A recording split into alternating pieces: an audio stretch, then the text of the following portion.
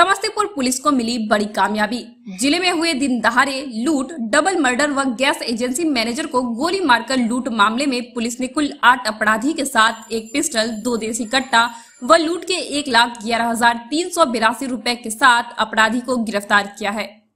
बता दें कि दलसिंह सराय थाना क्षेत्र में एनएच 28 के किनारे सूधा के डिस्ट्रीब्यूटर सुनील राय व उसके ड्राइवर मोहम्मद पप्पू की हत्या कर अपराधियों ने लूट की घटना को अंजाम दिया था।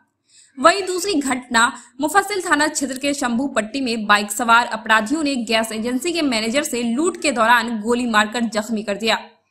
वहीं समस्तीपुर एसपी मानवजीत सिंह ढिल्लो ने मामले की त्वरित कार्रवाई करते हुए जिला स्तरीय एसआईटी टीम का गठन कर लगातार तकनीकी सूचना के आधार पर छापेमारी करते हुए अंतर जिला गिरोह के अपराधियों की गिरफ्तारी कर लूट, हत्याकांड जैसे मामलों का उद्भेदन कर लिया है। हम लोग के ज़िला में टॉप टेन में यह शीर्ष पहला नंबर पे ये वांछित अपराधी था। 2020 में ताजपुर के अषाढ़ी पोखर के पास एक हत्या हुई थी लूट के दौरान सीएसपी संचालक की। उस कांड का उद्भेदन पूर्व में हुआ था, लेकिन मनीष फ़िलहाल उस समय से फिरार चल रहा था। उस हत्या के बाद वर्ष 2021 में अभी तक चार हत्याएँ इसके द्वारा की गई है। सभी हत्याएँ लूट के दौरान फायरिंग करना इसका ये मुख्य अपराध का जो एमओ होता है, वो रहा है। तो इसके द्वारा जो दलसिंह सराय में सुधा डिस्ट्रीब्यूटर से लूट करने के दौरान विरोध का सामना करना पड़ा था, उस वजह से उसके डिस्ट्रीब्यूटर की और उसके चालक की हत्या कर दी गई थी। इसके बाद इसके बाद नहीं, इसके पहले ही एल फाइनेंस था, सहदई यूपी में। उससे भी लूट के दौरान फायरिंग हुआ था, उसमें भी उसके कर्मी की जान चली गई थी।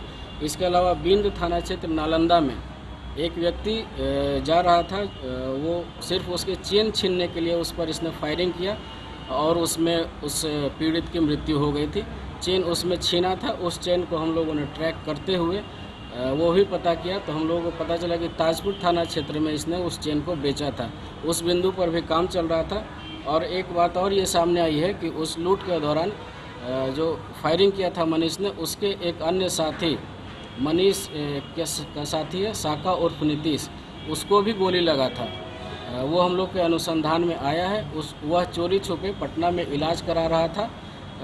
हम लोगों ने ट्रैक करते हुए उसके इलाज स्थल जिस अस्पताल में इलाज करा रहा था वहाँ भी दबिश दी है और यह भी खंगाल रहे हैं कि वो फ़िलहाल कहाँ फिरार है। इस न्यूज़ के प्रस्तुत करता है city centre the complete multi brand men's wear showroom Subhash Chowk Darbhanga. ली एक सक्लूसिव शोरूम सुभाष चौक।